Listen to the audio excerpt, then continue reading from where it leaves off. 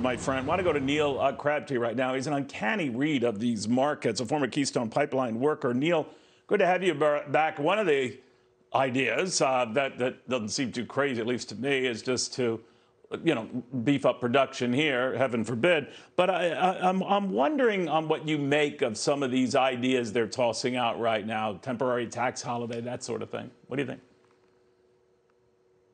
I mean, we just passed what a two and a half trillion dollar infrastructure bill, and you know it was goes to fix roads and bridges. So uh, to me, it doesn't make a lot of sense to cut the one source of funding, you know, with the gas tax. But I, I know the Americans public is hurting, and they would probably love that break. But it, it seems like every option's being looked at except for putting Americans back to work, you know, uh, getting rid of some of these regulations and uh, letting us, uh, you know, not just here in America, but when I, I, talk about energy independence, I like to, you know, talk about North American energy independence. Uh, uh Canada's a big partner with us. And if we can uh, grab some of that global market share, it will help, you know, with these price fluctuations when things aren't going so well in other countries.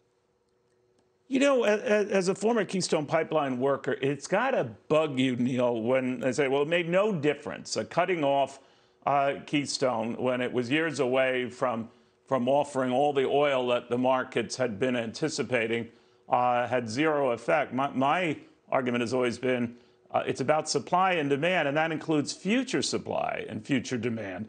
And, and when the market saw that cut off, it immediately read into that a reason to think, all right, maybe supply is going to be limited and bid up the prices. It was almost to the very day that was announced by the president on his first day in office that that, that ball started rolling. Right. You know, when you bring that kind of attitude in the White House, and especially with some of the rhetoric leading up, you know, to the election with putting, you know, energy company CEOs in jail. Uh, once you're elected president of the United States, those words carry weight. So, you know, the attitude in the oil and gas industry was uh, hesitant to develop anymore. But as far as that Keystone pipeline goes, you know, the White House is putting out that it wouldn't have had any effect, that it's not an oil field, it's just a transportation mode. But uh, the pipeline capacity coming out of Canada right now is uh, it's tied up. It's 100% being used. That Keystone Pipeline would have looked pretty good about right now because uh, it's costing about fifteen dollars a barrel to uh, bring that uh, oil in by train, and that price is going to keep rising. So, where is that oil going? Largely from Alberta. Uh, mostly, you know, we're our, we're still set up like we were back in the 70s. You know, most of our refineries are on the Gulf Coast because we imported a lot of our oil, right, and right. we haven't built any major refineries in this country since the 70s. We've built a few smaller ones, so most of it has to be transported down uh, to the Gulf Coast. Well put. Um, you know what you speak. Neal Crabtree, the former Keystone Pipeline worker.